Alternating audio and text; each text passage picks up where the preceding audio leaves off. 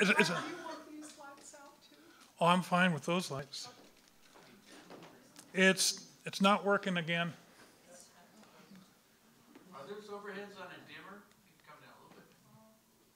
Well, let's first get the, change the slideshow.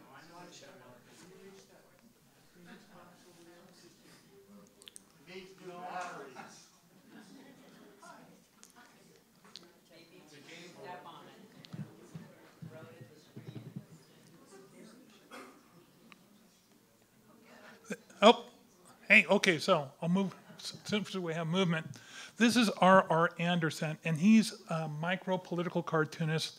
If you don't know what that means, it means he only does political cartoons in Tacoma. And he was sitting in a city council and got really upset because this is back in the summer of 2008. And the city council was thinking about throwing up a chain link fence around Frost Park because undesirables were camping out there overnight. And so he put together a competition for the master of the universe. And everybody who wanted to participate would have to go down to Frost Park and draw on the sidewalks with chalk. And oh, ah,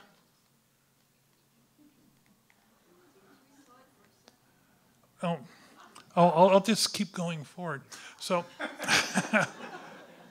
it was a lot of fun. And the second slide you saw up there was a guy named Kevin Freitas put together a website called Feed Tacoma, and we were posting our photographs of the chalk, and people could see them there and vote to see who there was their favorites. And all that summer long, we were doing chalk and just having a blast. But you know what? Come September, it rains, and it's really a pain in the butt to chalk in the rain, though we tried. So we got together, a guy named Elliot Trotter got me, James Stowe, and R.R. Anderson together. We went to the two we sat down for lunch, and we brainstormed on what we wanted to do that winter to keep the art going. And we said, well, we want anyone who comes and be part of this group to do their own projects, no one funded mandates. If you suggest it, you do it. And the rest of us will, if we want to, be part of it. And sometimes as a group, we would look for other organizations and be part of that. And if someone would reach out, we'd be part of that. We just wanted to be out there, and our mandate was to be silly. And so Stowe pounded his fist on the table and says, By God, I want to wear fez. So, and this is us at the, our first meeting. And the first thing we did was Iron Artist, where a bunch of artists got together and we all competed and we didn't know what we were going to be doing. This, we were given a model and said, You got to dress her up. So that was the first thing we did. Then we moved on and uh, 24 hour comic. This is an international event, happens on the first October of every, uh, first Saturday of every October.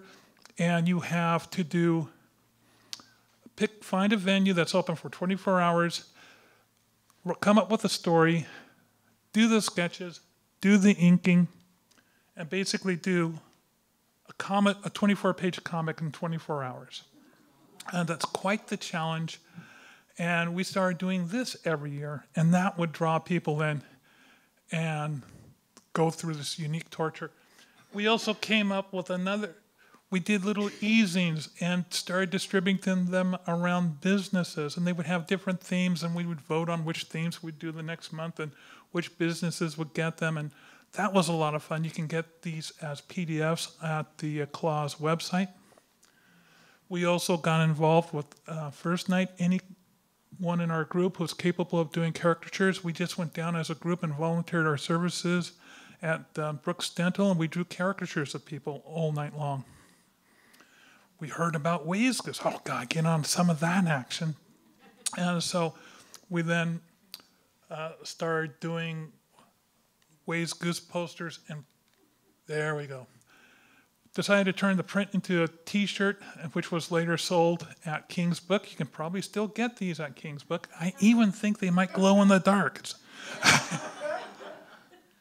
When we had a sense of altruism because we were artists and we're very unrealistic. And so we decided to any type of funds we got together from selling T-shirts, whatever we put into a student scholarship fund, you can still apply for the fund. It's only up to 300 this year because we've been a little inactive. But hey, if you know if artists have them apply. One of the things that each one of us had a fair amount of experience with marketing, advertising, and working PR stunts. And so whenever we got an opening to any type of media outlet, we jumped on it. So it was really great to be on the cover of uh, Tacoma Art. It got us a lot of publicity. This is the old um, Cafe. And we were drawing huge crowds to our weekly drawing sessions. Learned about the hundred monkeys. So we we put together uh, a uh, hundred different drawings of monkeys and other drawings and put them in brown paper bags because we had people in our group, some who were professional illustrators like myself, and some who were rank amateurs. And so we didn't want to know, let anyone know who was getting who, so you had to buy, buy them blind. That was a lot of fun.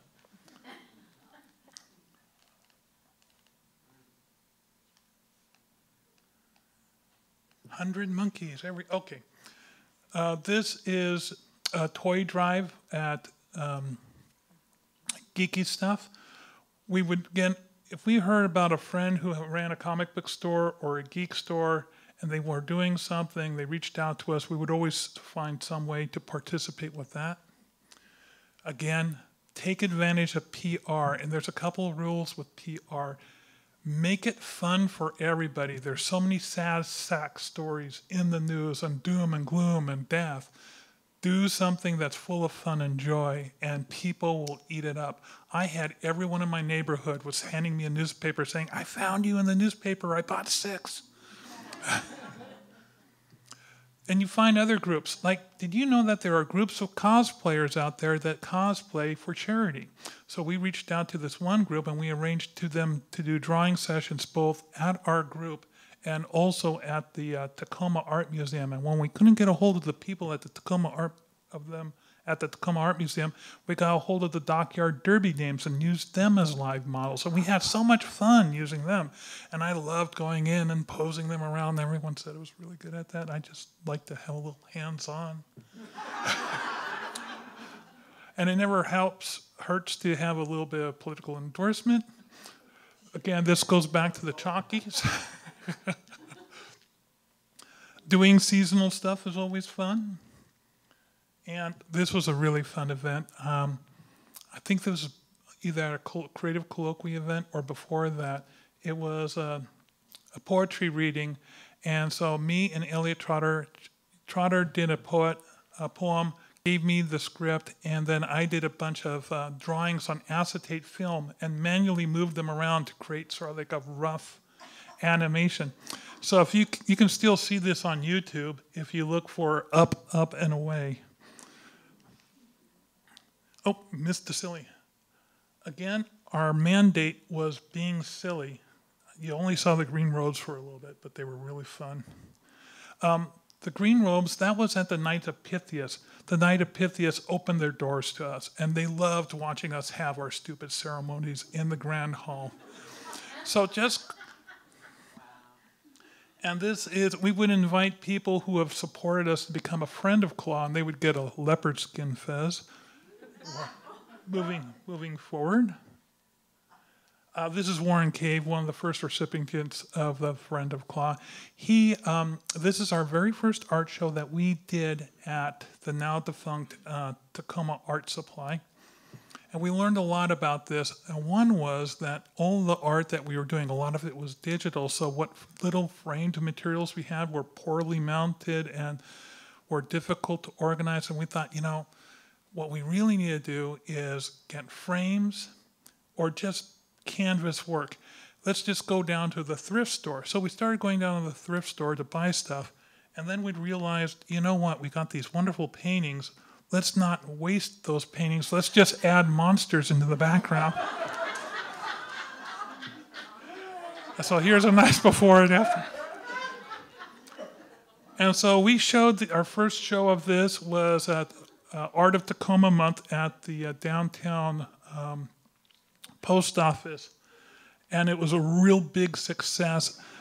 We sold, uh, we started selling paintings right away, and then we started moving these around at they rotated from coffee house to coffee house for years, and we kept selling paintings for lots of money.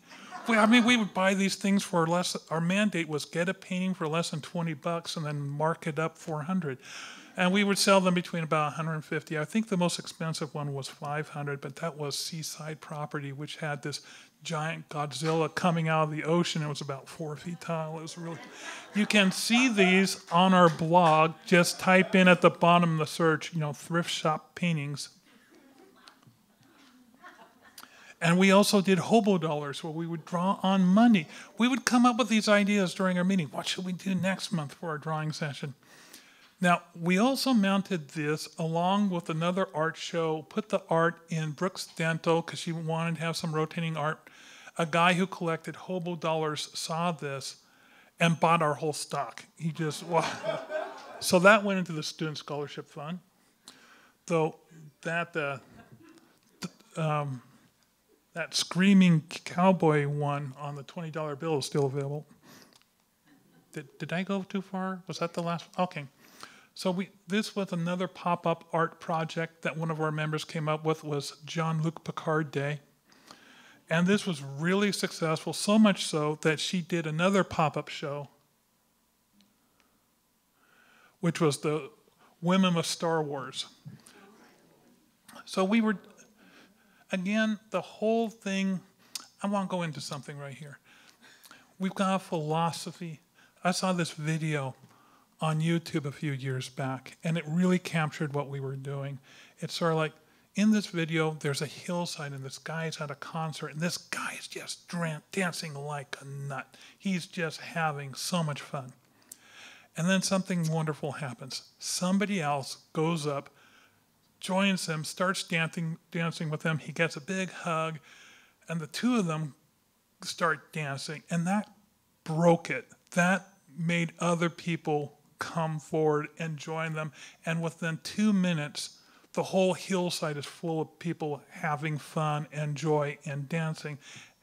And you know you have to get in on it because sooner or later the song ends. And that's a lot of what's happening in this art community. If you see some wonderful guy dancing on a hillside, be that second person that causes the momentum. So, next up, um, here we are, we're doing another drawing session, but this time we're riding the wave of the uh, Tacoma Rocks, which was happening just before the pandemic. So that was a, a, wonderful draw. There's a group up north called the Cartoonist Northwest, and every year they have an open art award ceremony, and they ask for people to submit any artist underneath various categories. And we decided, you know what, we've got a lot of artists. Why don't we some, get a bunch of talons of the cloth in every category? And we pretty much swept the awards that year, so that was a lot. this is Anthony Duzak, and he's one of the guys on the hill dancing. He decided it would just be fun to have one night a month where you could watch an old horror movie from the 70s and the 80s and then what he did something really clever. He started inviting artists to do movie posters for for him. And so I was fortunate enough to do a bunch. Here's a couple of samples of mine. But the problem was he only was doing it once a month. And I had this whole group of artists wanting to do more, not just members of the club, but all over the South, saying, hey, can I do a print?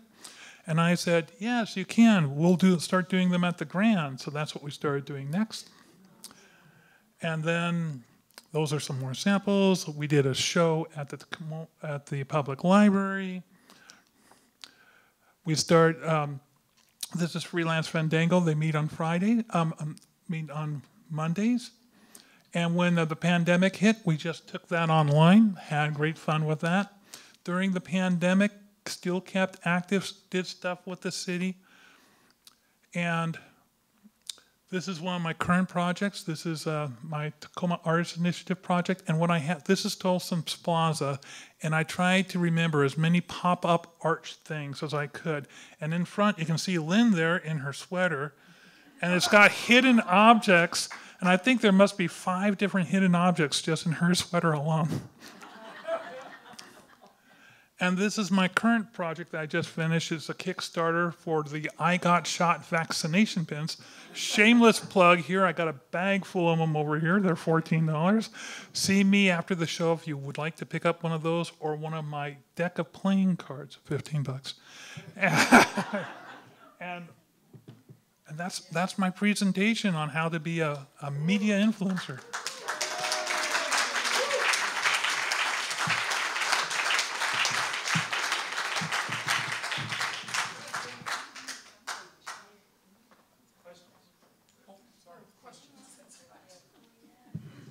Sorry. Yes. It, I noticed on your first uh, postcard where it said Tacoma that you made, that there was a cow in there as well. Why was, why did you choose to have a cow on well, the the art in the lettering was of a futuristic Tacoma, and it had UFOs in the background. And so I thought it'd be a good way to tie the future with the past. You know, cows. Okay. and any other questions? Yes. Are you missing a tooth? Yes, I am. Uh, this is COVID related, in so much as um, I started, uh, had some minerals leaking out of it, and then uh, so they said, well, you gotta have it pulled out before it crumbles. I said, oh, okay. So had the tooth pulled, they put in an, an implant at the same process, and then I went to the dentist to get it capped. But so it looked like it was all done in one shot. But then when I went back to get the final cap, they tapped on it. I went, oh, it's infected. We got to take it out. I went, oh, man. And I just had a mouthful of stitches taken out because when they went in to take it out, they also decided to shave my jaw. And so I went off. I just came off a liquid food diet only to go back on a liquid diet. But yeah, it, it'll get replaced eventually. But yeah, there's something missing right there. Thank you so much for pointing that out, Lynn.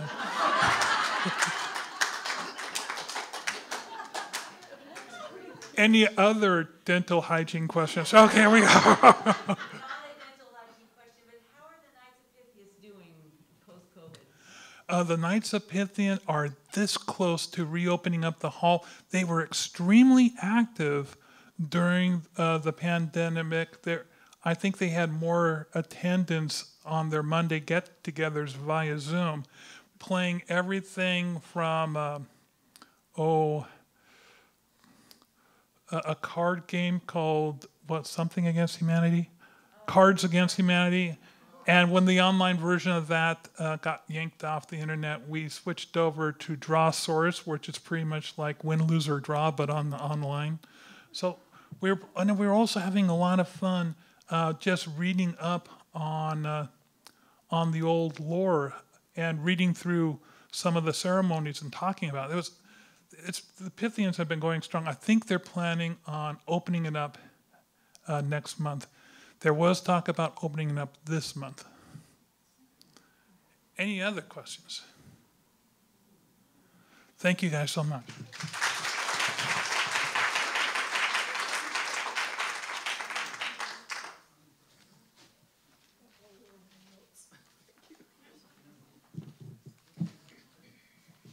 Erik, go now?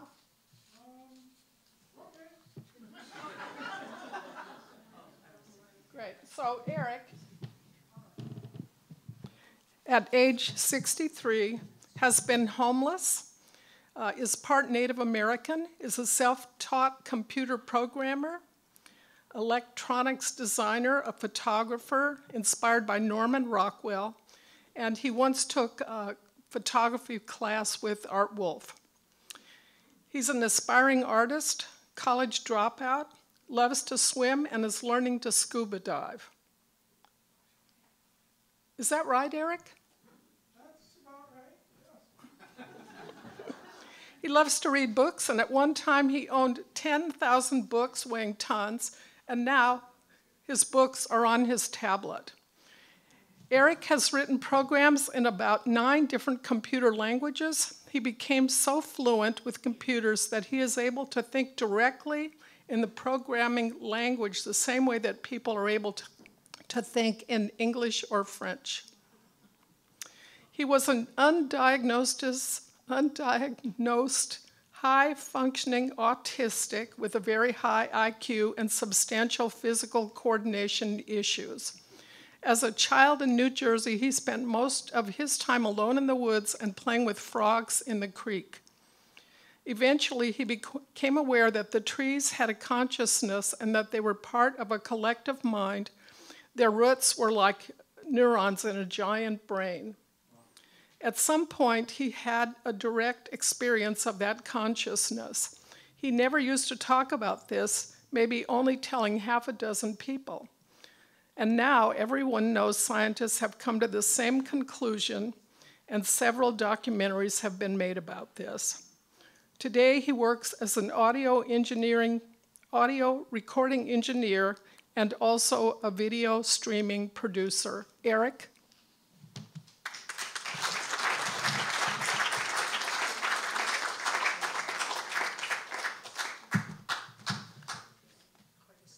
Hello, everybody. Gosh, I realize she was going to read all that stuff. I've been very um, low key about being on the autism spectrum, but uh, whatever. I'm on the high end, um, but um, but it's not really like that. It's it's not a not a linear bar graph. It's more like a jaggedy thing. Some things are I can do well, other things not so much. But Anyway, so now I guess everybody knows I'm autistic, but I generally just try to hide that. But uh, oh well. Anyway, um, she asked me to tell her about my life so she could figure out what to say. So I just dumped everything on there. But anyway, I fell in love with photography when I was three years old. And um, we had hiked the Misty Trail. I guess there's no Y on that, but anyway, the, in Yosemite. And um, we went to the uh, Nevada Falls Overlook, which is really steep and really difficult hike. And here I am, three years old, and doing this hike. So, but anyway, it went well. Um, uh, but while we were up on the Overlook, um, my dad handed me his camera and he said, Look through this viewfinder and uh, pick something nice and push this button. And I was just absolutely enthralled that a little box could capture an image um, that you could later look at. And so that was just this magical moment. Um, and I've been fascinated by photography ever since. And I suppose I ought to show some of these photos. Oh no. Ah! Darn. we, it has been such an incredible battle getting everything. As, as Lynn was saying, we haven't done this in over a year, and so getting everything redone and such with the added complication that we're also videoing. Uh, hang on, I have to change the setting here.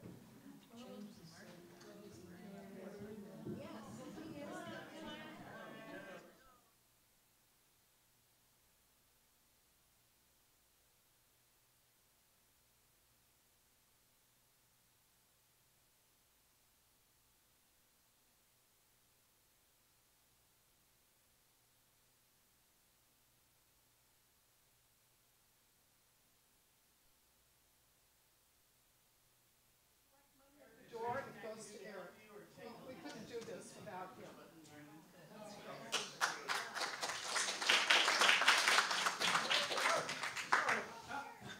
Should work now. Famous last words, but uh, should work. Ah, no. Ah, there we go. Okay, all right. So anyway, um, except it's going the wrong direction. Come on. Trying to get it back. Dim the lights, please. Ah, yes. Um, well, I can do it.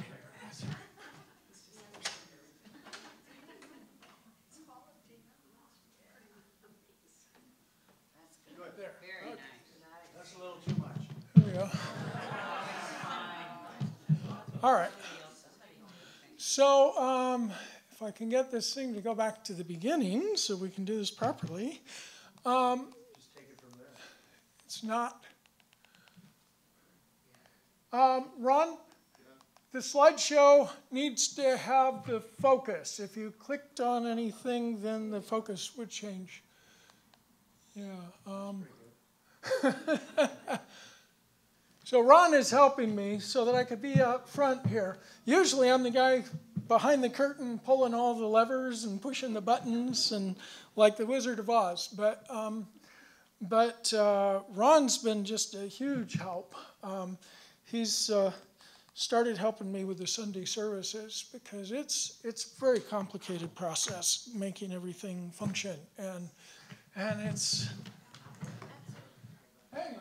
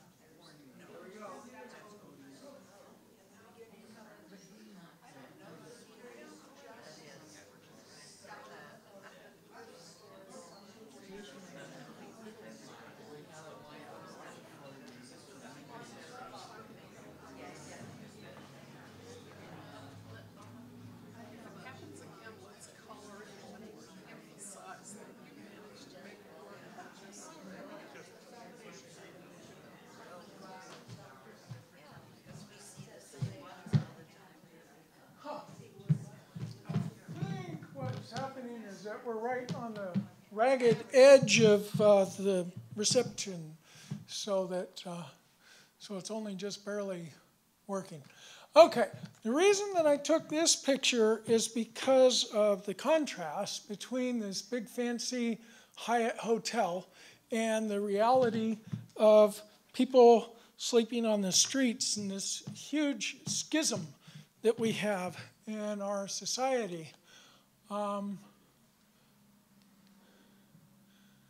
and that I just like the way it looked. You know, it's, it's just nice composition. Um, I like to take my camera and go for walks, and uh, um, and a typical walk is five to ten miles, so you have to be in pretty good shape to do that. But I just wander around anything that looks interesting. I spend a lot of time thinking about the background, actually. That, that car wasn't just by happenstance. Um, I, I look at every element of a picture and uh, think very carefully about what's happening in the background. Um, I tend to take a lot of pictures of birds and buildings, and sometimes I can get the birds and the buildings in the same shot. Now, the reason I put this sequence here is look at what happens with that flag, and how does this picture change the way that it feels depending upon the position of that flag. I stood there a long time just getting different poses of the flag. And um, come on. Ah, there was supposed to be, there it is. So that's, that's a very different feeling to it than that one. And we're gone. Okay, well, I think I got the point. Over.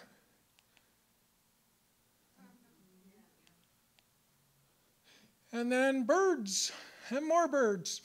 Now, there's a helicopter that flies, and I didn't know where it flies from until I just happened to be in the right place at the right time. There's a lot of serendipity involved in photography. Um, you just have to be there. And I had seen this helicopter flying around Seattle, but I didn't know where it was landing until I happened to be behind Harborview. Um, there's a park there, and there's a really uh, nice lookout of the city. And there I was. I, I found the helicopter uh, pad, landing pad, but these are very random. They only run rescue flights. And so the chance of me actually uh, having the, uh, a photograph of the helicopter itself um, was amazing serendipity. But there I was out there just taking pictures of the city, and lo and behold, here's this helicopter. I've been wanting to photograph it for quite a while, and just all of a sudden I was there, and it was too. So, so I, um, so I just took a few photos. Um, I wanted to also respect patient privacy in that too. You, you see his arm, but nothing else. Um, so, the, and then I was down.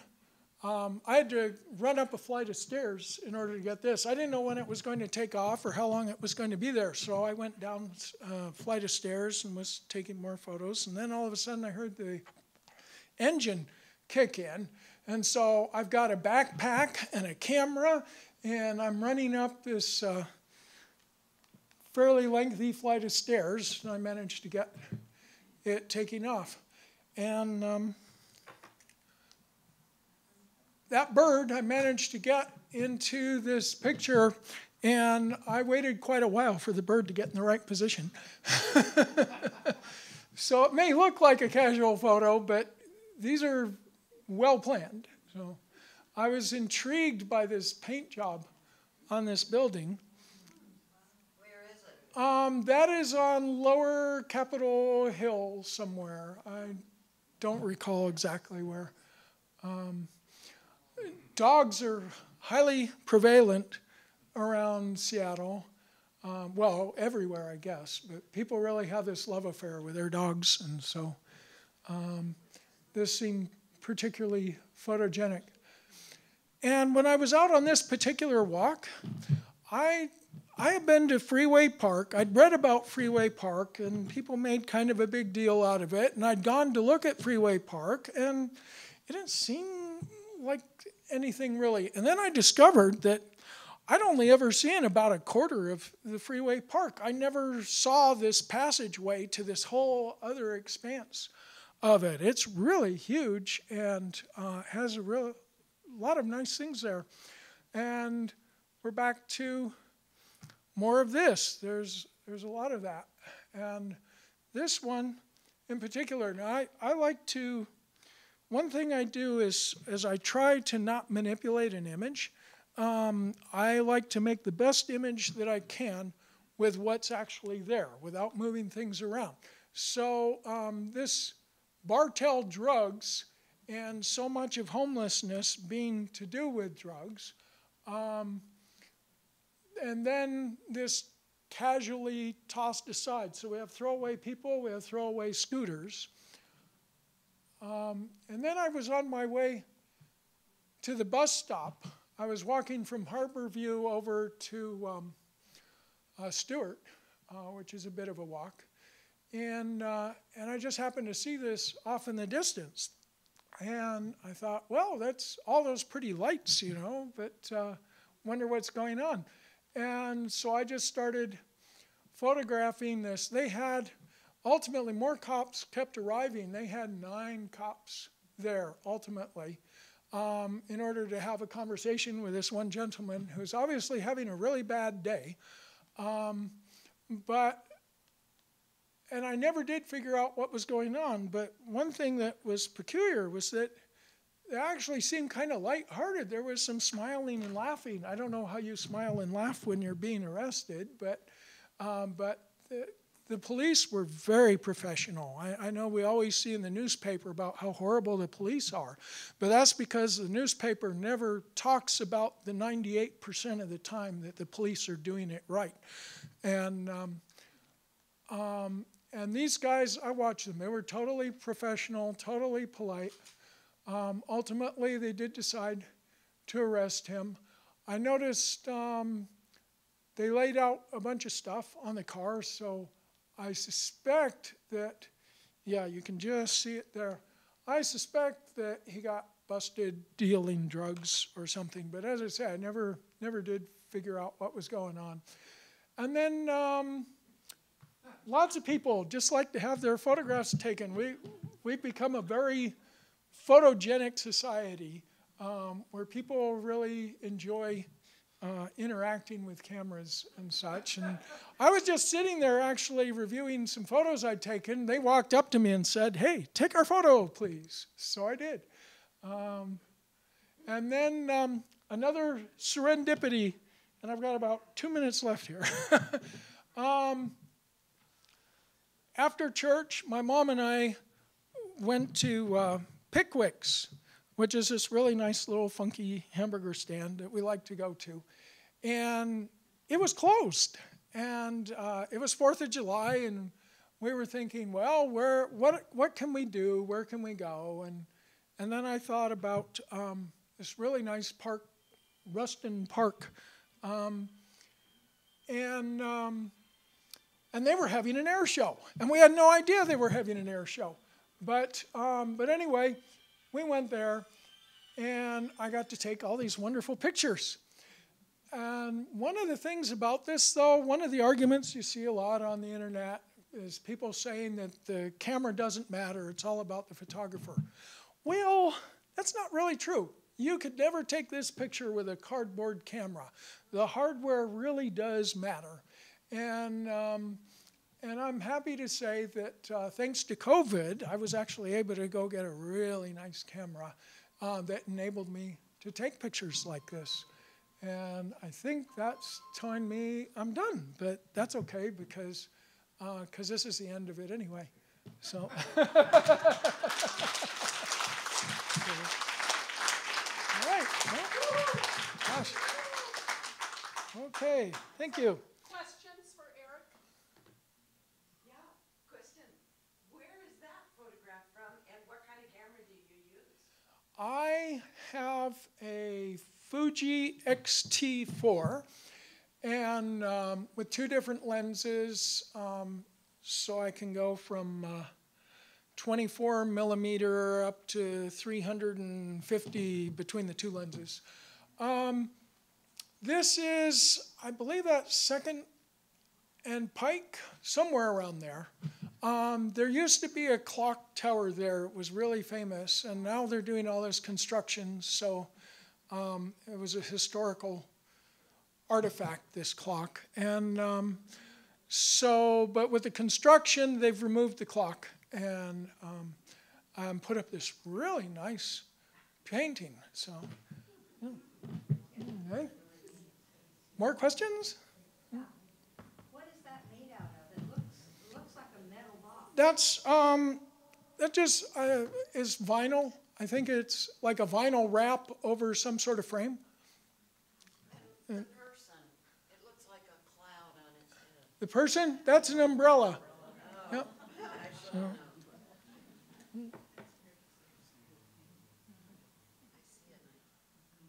Any more questions? Where do you like to show your work? um, I'm still trying to figure out how to get my work out in front of people. So um, I've uh, uh, many years ago I rented some space in a gallery downtown and almost sold a picture, but uh,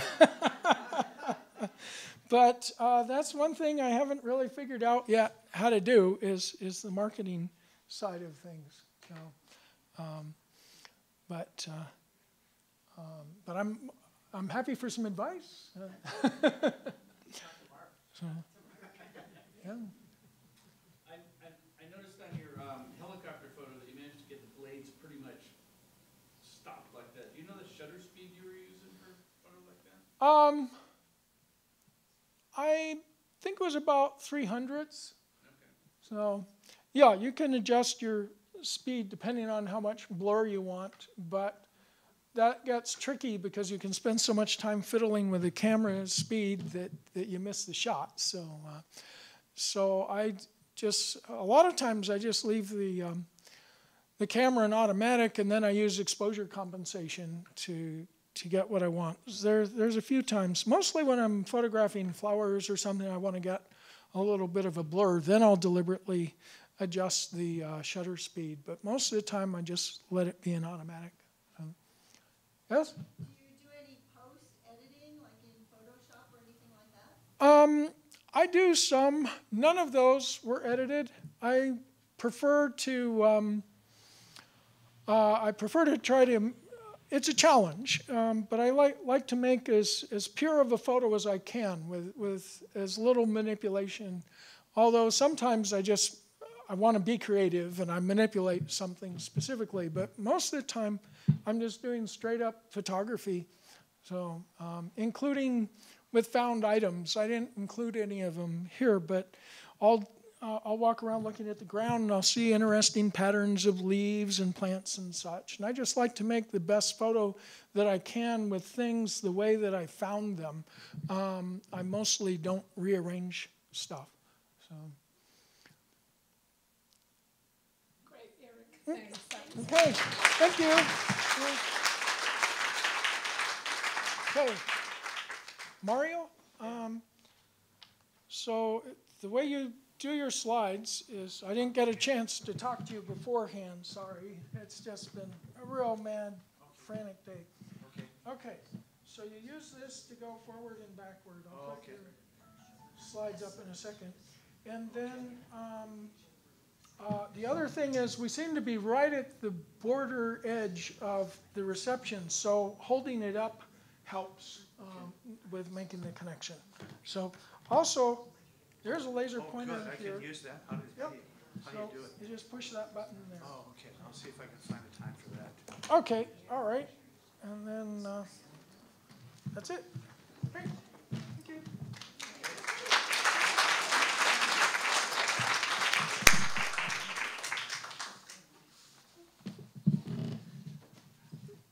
So is anybody here last time Mario did a presentation at Tripod?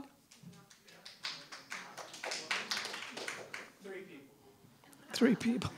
Well, it was awfully entertaining, and that's why we invited him back tonight.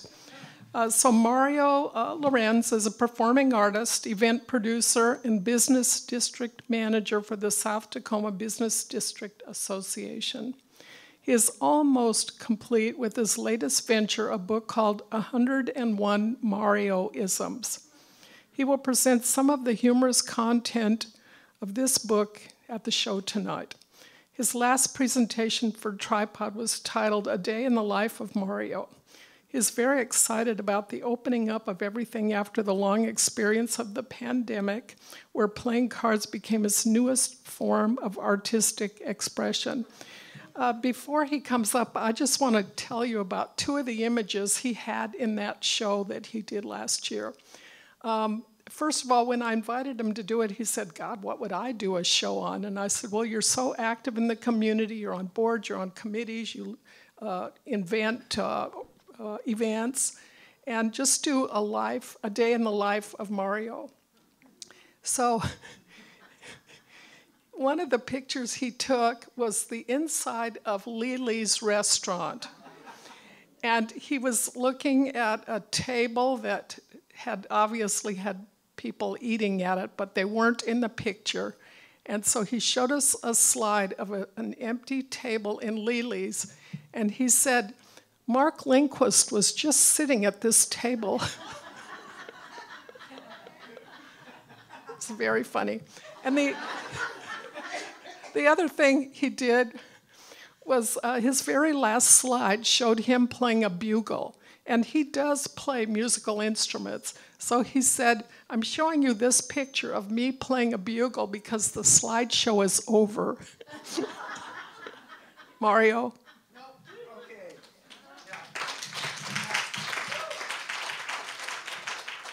Now give, uh, give Lynn a big round of applause.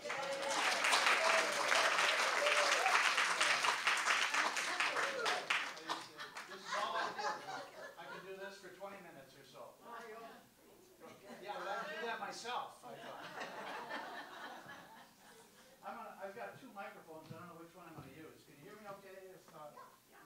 Is, uh, oh, yeah, there, there. I don't have to talk so loud. Oh, oh, wait, I can't start yet because I'm not. When does my time start? Yesterday? Okay. uh, Okay, I gotta figure this. Is there, I have a, oh, yeah, no. Okay, so if I just uh, go like, that's, that's very, it's working really good, Erik. Okay, maybe I'm hitting. Okay. So, oh, there, there. Oh, God, shoot, I wanted to, I wanted to bring this out anyway, because, because, yeah, everyone needs a new toy from time to time, and mine is the clarinet. So I'd like to share that with you right now. I got this about uh, two or three months ago, and I'm, I'm, uh, I'm gonna play it for you right, right now. You have to plug your ears, we haven't even played it yet, lady. Don't worry, it won't take very long.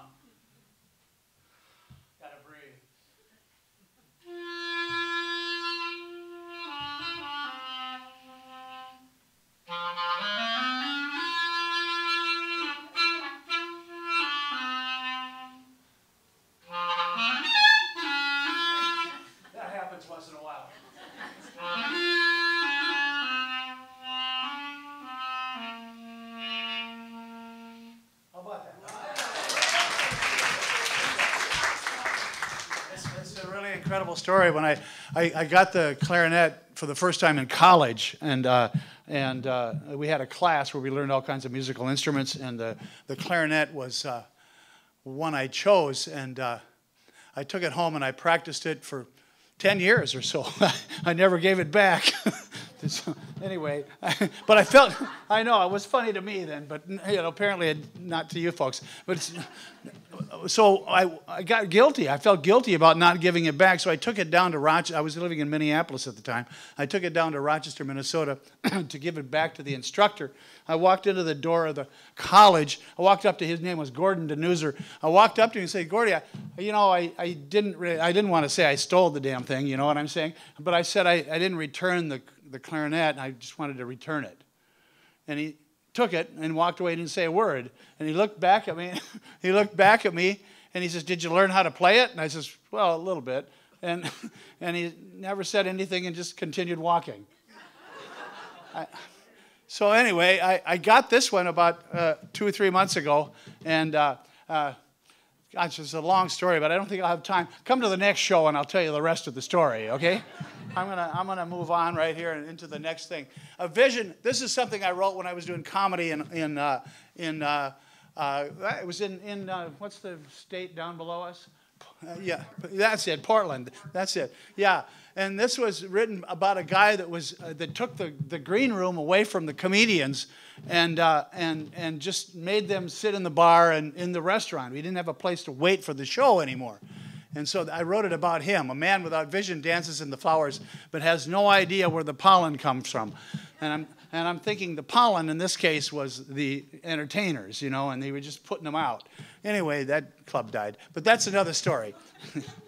okay, the next one is uh, yeah, life is an incom- incomplete act that happens to you sometime between you are born and when you die. And I, I drew that, you know. Maybe. Give a big hand to Mark. Wasn't his show terrific? I, Mark, Mon- did I get that right, Monlux? My God, the guy's got talent, doesn't he? I, maybe I can get in if, in a couple of years or so. You will see. Anyway, that's that one. Then I wrote, these are Marioisms, okay? Some of them started in 1995, and I, I've just now got them together to try to put a, a book together. And I've got 101 of them. I'm not going to do all of them tonight, but, but this was something I wrote about, I don't know. You guys aren't laughing, so maybe you can't read. I don't know.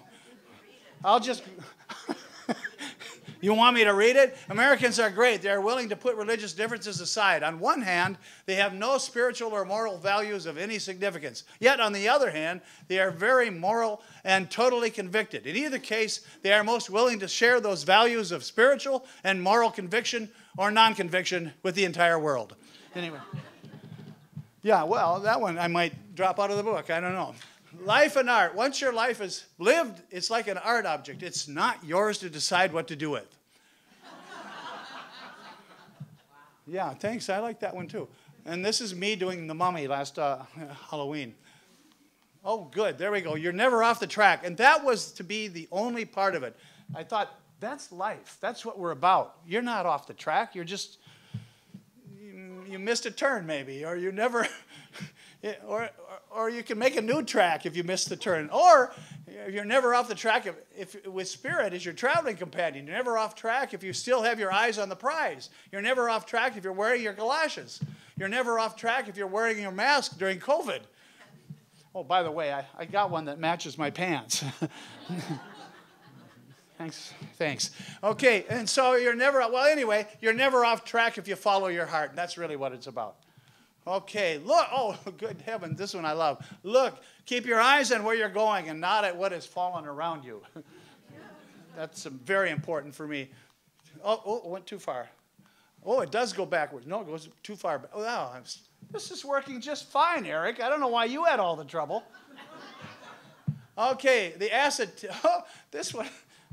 well, God bless Rush Limbaugh. He's moved on. But this one, this one is about him. I have discovered that most people, in hindsight, that is, that most people criticize who. Well, I can't read it. I've discovered that most people who criticize Rush Limbaugh have never listened to his show. Even he admits that those who don't listen to him are the first to criticize. They used to say the same thing about drug taking in the 60s. Don't knock them if you haven't tried them. I find listening to Rush and taking drugs has a similar effect. To alter the perception, perceptions of the users. Actually, I like to take drugs while listening to Rush. One cancels the other out, makes me feel balanced. I want to sell this book. I think some of it's worthwhile. Okay, part two. I, I actually I had things listed in the part in the breakdown, but I did I, they're just parts right now. I got part one up to five. Okay, so fire. While watching the holiday fire, I wonder in awe how the sun keeps on burning. Has any of you ever had that? Uh, anyway, I, I still am asking my wife several times about that. Seeing in the dark. To expand my vision, I must learn to see in the dark. Yeah, that's a good one. Okay, appreciation. While interpreting the contents of a fortune cookie one day, my wife, Caroline, inquired, What does it mean? My reply was simply, Some things are better appreciated than understood. Yeah, okay, I will unlock my spirit, unlock my spirit, and let, I'll un- unlock my heart and let spirit fly, let it fly, fly, fly. The only real foundation in life is spirit. I don't know if you guys believe that or not, but. Uh, you, you can believe it if you want, okay? okay, oh, this is good. I love this one. Strength and weakness. My wife and I have a wonderful relationship. She is strong where I am weak, and I am weak where she is strong. The balance is perfect. Yeah, okay, I'll drop that one then. Okay, justification or appreciation. One day when I was discussing the acceptability of the arts in schools with my wife, she said, Well, they've not been shown enough justification. I said, That's the problem. We must forever be justifying when appreciation is the true measure of a truly work of, truly, truly work of a worthy work of art. Go ahead, justify the Grand Canyon. And these are actually pictures of a friend of mine that took the, she does balloons down in New Mexico and she flies over, that's Dottie on the right there. And uh, these are pictures of the Grand Canyon and she also has horses in Montana. I just thought that looked good and should put, go in there. Anyway, Next. Hit the right, hit the right thing. In response to the school child's question, how do you balance a peacock feather? I replied, if you keep the top up, the bottom will not fall down. it's a lot like government. You know, that was that one. Getting my goat. This was a cousin that I just was just, I, he was bothersome, okay? in response to a bothersome cousin who gets my goat, well, that's it. I'm not telling you where I tied my goat. That way you'll never get mine. And this actually, I don't know why I put this with George Carlin. I probably will remove it at some point. But this was a picture that a friend of mine took of the fire last year in uh, Oregon, on the Oregon coast. And it was off of her balcony. It was I hope it was a night shot, but I'm not sure. Well, George Carlin, wondering whether I should be envious of George Carlin. It's difficult to be remarkable in every way like George. He has been remarkable in many ways in order to achieve his success, I thought. Well, I thought, how many ways are there to be remarkable? And at the pace I'm going, do I have the time? Anyway, part three. Move. Okay. Oh, good. That's a nice one. I like. kind of like that one. Oh, uh, that, that one. Circle. This is just philosophical here. I think you must touch the circle in order to know what's at the center. Once you know the center, you know the circle. That is deep. I think. Yeah. It's. I'm. I'm kind of swimming underneath it right now, trying to. But that was an, a labyrinth. We used to go to the labyrinth. It was out in Gig Harbor. Uh, uh, the, the, member of our church had that labyrinth, and uh, and it, and she doesn't have it anymore. Oh, this one's so cute. Size matters. But this one was a movie, and it didn't turn out that way. This that, actually, this the balloon is blowing up during the course of it. Anyway, I'll get that one out of there. This was when I was on the road doing comedy in South Dakota or someplace. Uh, oh, this is clever. We were but the article is about Jesse Jackson Jr. in 1996 when he said, in order to get nudie, we must, and he spoke of the ideas that might expose his lack of vision. We were at, at the time at Reverend Barbara King's Hillside Church in Atlanta. She had a huge, huge church. And uh, she was an Amazon woman. She was huge. She was tall, about six foot six or seven foot tall. And anyway, I did not speak up at the time, but my thought was the real goal is to build the vision not destroy the blind man. Anyway. Yeah, well, that one might go too. I don't know. That one's. Race. When asked why people are different colors, my response was we all live in a melanin patch. Anyway, move on faster. Life is a complete act that happens between. Didn't I have this one already? Yeah. Okay, let's move on. Part four. Oh, here's this one's good because this is a friend of mine. Uh, her name is Heidi. And she's the one driving that canoe, and it's coming into the Grand Canyon. Uh, life is life and death. Life is not worth dying for. Death is not worth living for. But life and death are worth it, whether we live or die. Some of these I really take a long time to think about them. You know.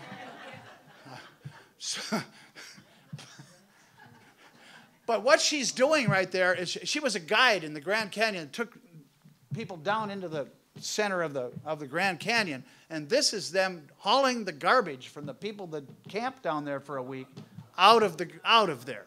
And that was just a photograph that she had taken and she sent it to me. She's also the woman that did some painting on this church several years ago. And she had a bicycle, three wheeled bicycle that she rode from South Carolina. North Carolina? Yeah, North Carolina, all the way across the country, up to Alaska and back. She did it in about nine months. It was it was an amazing trek. If you ever want to check out her pod, what is it when they do it online? She, her blog, you can go to Heidi, crazyguyonabike.com, something like that. And she's got a whole story of her whole thing. It's just I said, you got to publish. Okay, life is a relationship with ourselves and others in which we can linger in it a long time without really knowing whether or not we want to be in this relationship or not. and this is, this is Where's that pointer? This is me. How do you turn this on? Ooh, works great, Erik. Oh, there we go. That's me. This is my, that's the guy next to me is my best friend Barry, and, and uh, you know, my girlfriend uh, uh, Charlotte right there, and, uh, you know, my teacher Vera, who just passed away about last year, not long ago, at 107 years old. Anyway, she looks, she's a little younger than she looks now in this picture. Anyway, but she was something else. Uh, anyway, this really didn't have anything to do with anything, but I just kind of liked the photograph and put it in. So, yeah, it's in, yeah. Well, let's just look at it for a while, shall we? Okay. And, and reincarnation. Lives may pass before your eyes, but the center remains constant. In other words, there's only one life after life after life after life, and after that, it's more of the same until it changes. And that change will certainly change the next time around, so please don't die on me just yet. I'm not ready for the change. I, I, yeah, yeah. And these are my grandparents, believe it or not. This is on my on one side and on the other side, and then that's that's Maud over there that who's Anyway, I'll get into genealogy later. Okay, and this is uh, roots. We need to put some roots down so when we die, people will know who we were. now, that one I thought was better. Obscurity. What care I of the obituaries of the rich and the famous? It is, my it is the obscure ones that turn my head, tickle my fancy, and turn me on. I suppose it's because I come from relative obscurity. In fact, there is no one more obscure than my relatives. And, and yet, look, here am I. And this, this is a picture of the pigeon. The pigeon guy left these pigeons in my yard, and one of them befriended me. So that was kind of cool. And this is this is another thing, roots. We did put uh, the same line, but these are that's a blurry picture. So that's my other side of uh, my family. And uh, one thing for sure is that when your parents pass on, you don't feel guilty about forgetting to call them during the holidays. you know, I think I think that's these are my mom and dad when I, they were married in 1926, and then their 50th anniversary in 76. So mythology, life is a mythical journey that can swallow you whole and spit you out wherever you choose. I like that one. How are we doing on time? Who cares? Okay, good. Oh, God, too fast. Uh, and this, is whatever on earth can you be searching for when everything you desire is right here, right now, and always has been, okay? And look at the stuff I have in my hands. Anyway, we are ghosts standing in the wake of our spiritual expression. I know, man. I don't know where they come from, but they're wild. Human. To be human is to stack. Oh, great. My phone's ringing. Hold on. Somebody calling me in the audience? Forget it, O'Hara. I can't talk now. to be human is to stack our manifested dreams upon our past in order to become who we are. Boy, I even have to think about these things. I'll tell you. Okay, loss. If you don't want my opinion, if you want my opinion, I think I lost all my opinions. When and if I find out where I lost them, I will return to that spot and take off where I left off.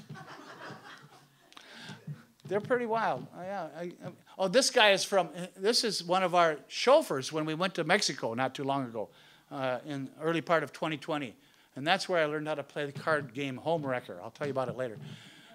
Appreciation. While interpreting the contents of a fortune cookie one day, my wife queried, "What does it mean?" I think we did this one already.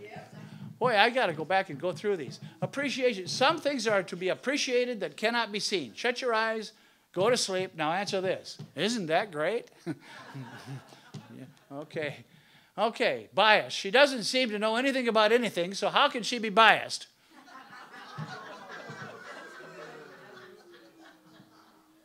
I like that. I got, I, I got both laughter and booze on that one. I like that one. Dilemma. My greatest dilemma is my inability to be everywhere at once. And let's see. There is no urgency in life, only time for choices to be made. In fact, there is plenty of time to make a choice right now if you just hurry up.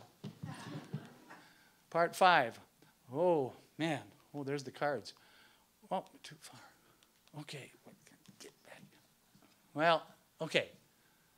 There are not many people, not many famous people in the earth considering the earth's population, but I believe,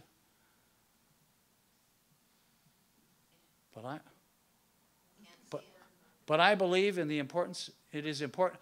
This one, yeah, this one is one of my favorites. There are not many people, I thought I already did this one.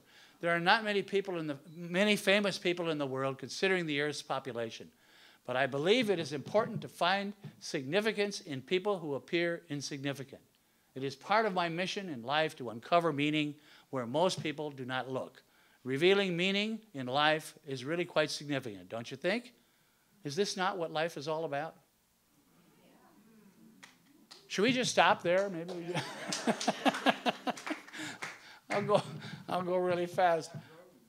Okay, well this is this is the pandemic brought on card games. I think I'm I, I'm on a buzz because I got the red flag. Okay, let me just and this one didn't get a, uh, a thing. Okay, my computer is so slow that the stuff I input today shows up on the internet yesterday.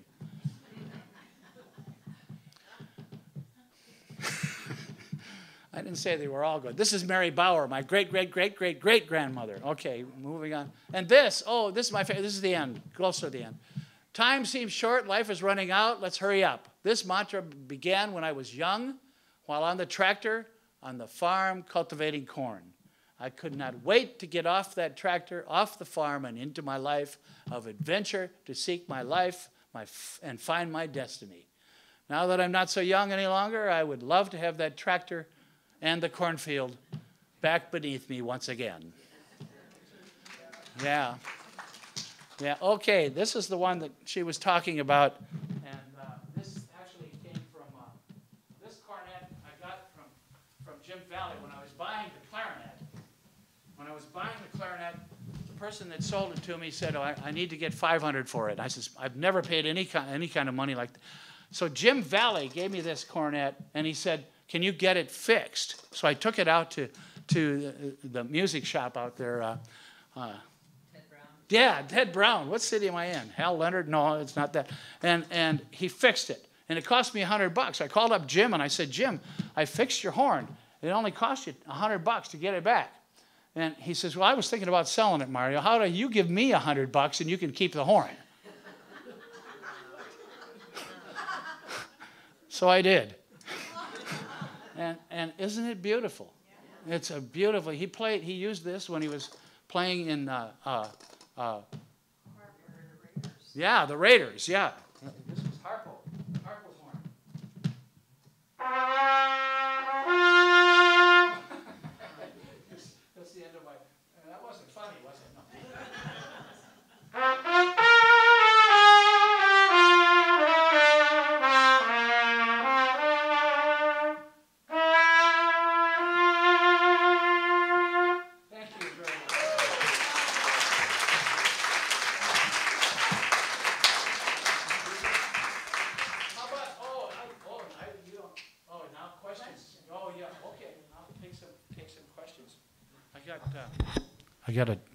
hear me okay?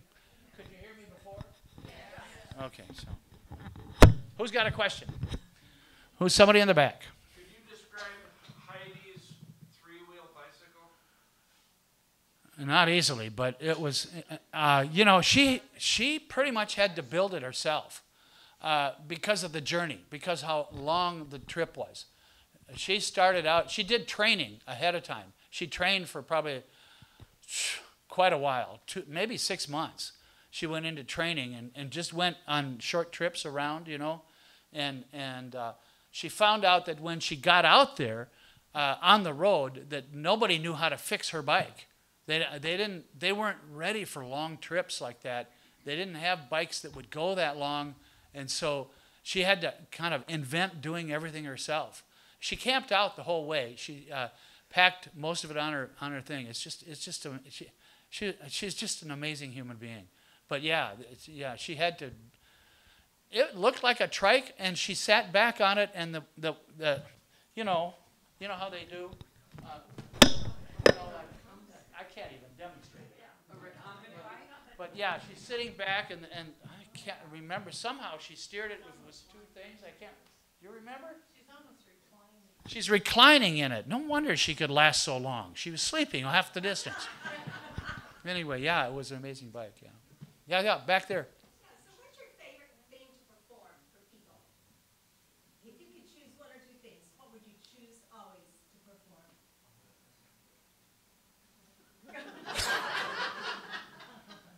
Next question. a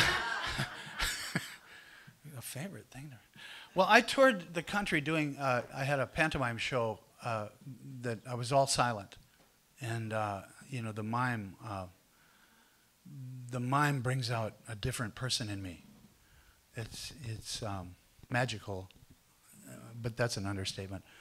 Um, but yeah, that, uh, and I, I, I worked at a place, uh, the gentleman here tonight that is from Austin, Texas, that we were talking about Esther's Follies.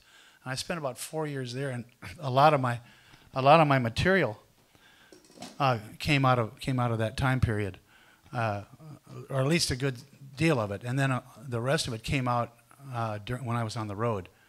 Uh, and and those kind of those kind of shows are hard to find. I would go to elementary schools all over the country, and and work, uh, you know, a school of 500 kids and or a thousand. Sometimes there was 1,200, uh, uh, and sometimes there were high schools mixed with the elementary schools. And of course, in a situation like that, you always had to you always had to make sure because the, the older kids are going to mess with you somehow, and and the younger kids won't know what's going on uh, when they're doing that. So you have to you can't ignore anything. It's like everything has to be important. And and I when I was I, I just found out that I I don't know Susie is that who it is? I I love just being in this situation. I hope this uh, what I'm doing here will work out because I, I would like to take a slideshow and because I'm not I'm having trouble with my knees and and it's, it's not so easy to do this anymore, you know. Just to throw these up and catch a ball like that, you know. It's, it's just I I haven't forgotten how to do it, and but the knees I do cigar boxes in that routine, and and that creates that's probably why I have a bad knee now. I don't know, but but yeah, so. Um, I didn't I didn't do as well in comedy clubs, although I did sometimes. Uh, uh, uh, there was a guy I worked with in Seattle at Giggles.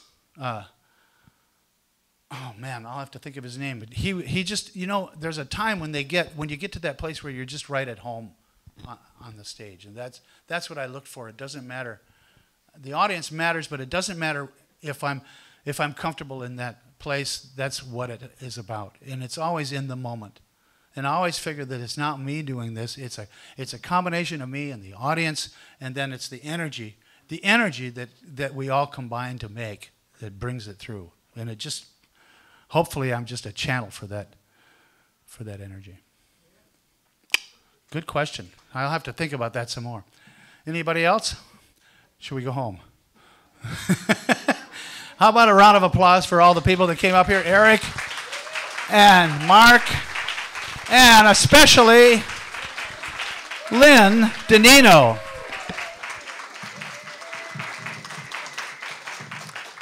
So the next tripod is August 20th, and that will feature Sharon Steyer. Many of you know her, and she'll be showing her collages.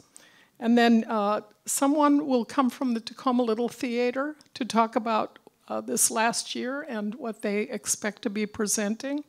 And the third person is Tom Holt, who is taking pictures of all the murals in Tacoma. August 20th. Thanks for coming.